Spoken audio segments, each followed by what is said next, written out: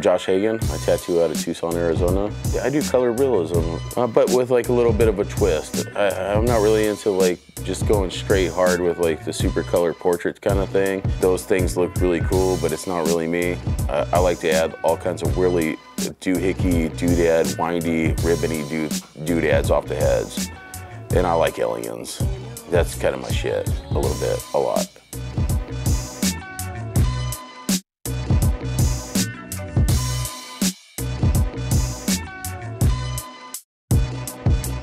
A lot of my clientele still ask me for a lot of color portraits and like they're great you know? Like i mean obviously it takes like a certain amount of knowledge on on how to do them and i think they look great. Um, but that's not what i have fun with anymore. I would prefer my clients to ask me for nothing but aliens but uh, yeah people ask me for a lot of color portrait action. And for some reason black and gray i don't know it's super weird because like me and Carl go everywhere together and Carl's so good at black and gray. People ask me sometimes and I'm like, well, having you talk to this guy over here though? I prefer color.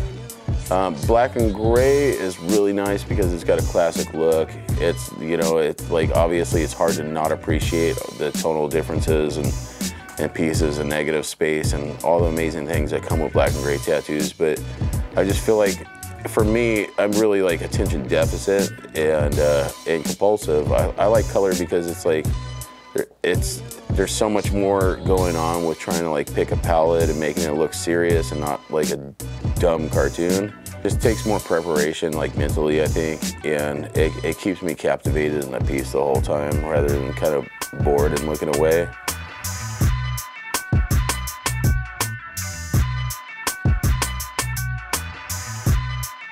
Some of my favorite tattoos, uh, one of the ones that I really like, I did an alien with um, a crown of thorns on. It's definitely one of my favorites. Uh, it didn't get a lot of like positive attention because, you know, like motherfuckers are giving me heat about like the offensiveness of it, but uh, it's kind of it's kind of where I'm at with like my beliefs. Uh, I like that one a lot.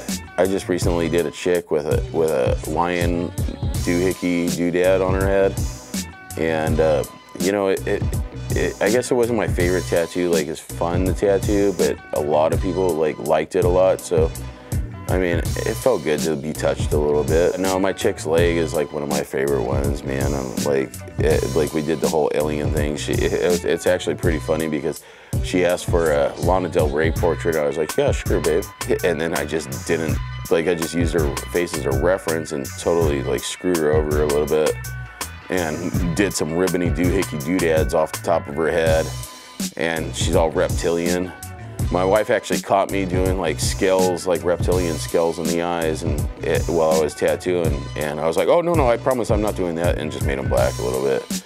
But uh, you know, it's way cool of a tattoo. I like it. The best way to set an appointment with me is to get a hold of me through Josh Hagan, apt at gmail.com and my assistant takes care of everything. If you want to look me up on Instagram, it's at Josh Hagan.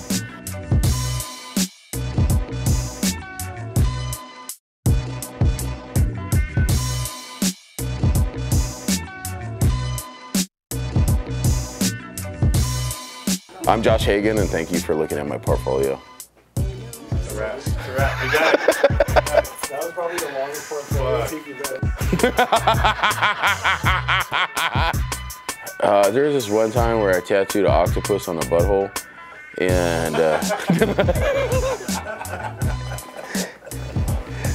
um, well, the first thing is like I like if they send me a Snapchat of them nude, frontal nudity, um, is the easiest way to get me to respond.